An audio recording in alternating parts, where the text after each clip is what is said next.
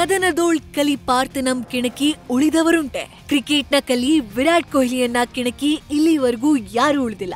ಅಲ್ಲೇ ಡ್ರಾ, ಅಲ್ಲೇ ಬಹುಮಾನ ಕೊಟ್ಟಿರ್ತಾರೆ. ಹಾಗಾಗಿ ಆನ್ ಫೀಲ್ಡ್ನಲ್ಲಿ ಕೊಹ್ಲಿಯನ್ನ ಕೆಣಕೋಕು ಮುನ್ನ ಆಟಗಾರರು ನೂರ್ ಸಾರಿ ಯೋಚಿಸ್ತಾರೆ. ಒಮ್ಮೆ ಆಸ್ಟ್ರೇಲಿಯಾ ಮಾಜಿ ಕ್ರಿಕೆಟಿಗ ಡೆವಿಡ್ ವಾರ್ನರ್ ವಿರಾಟ್ ರನ್ನ ಕಿಣಕಿ ಪಡಬಾರದ ಪಶ್ಚಾತ್ತಾಪ ಪಟ್ಟಿದ್ದಾರೆ. ಅದು ಎರಡು ಸಾವಿರದ ಹನ್ನೊಂದನೇ ಇಸ್ವಿ. ಭಾರತ ತಂಡ ಆಸ್ಟ್ರೇಲಿಯಾ ಪ್ರವಾಸ ಕೈಗೊಂಡಿತ್ತು. ಆಸ್ಟ್ರೇಲಿಯಾ ತಂಡ ಸ್ಲೆಡ್ಜಿಂಗ್ ಚಾಳಿ ಮುಂದುವರಿಸಿತ್ತು. ಅದು ಸ್ಲೆಡ್ಜಿಂಗ್ ಪಂಟ್ ವಿರಾಟ್ ಕೊಹ್ಲಿಯನ್ನೇ ಕೆಣಕೋಕೆ ಪ್ರಯತ್ನಿಸಿದ್ರು. ಬ್ಯಾಟಿಂಗ್ ಮಾಡ್ತಾ ಇದ್ದ ಕೊಹ್ಲಿಯನ್ನ ವಾರ್ನರ್ ಸುಖಾಸುಮ್ಮನೆ ಕೆಣಕೋಕೆ ಮುಂದಾಗ್ತಾರೆ ಆಸಿಸ್ ಬ್ಯಾಟರ್ ಗುರಾಯಿಸಿದ್ದೇ ತಡ.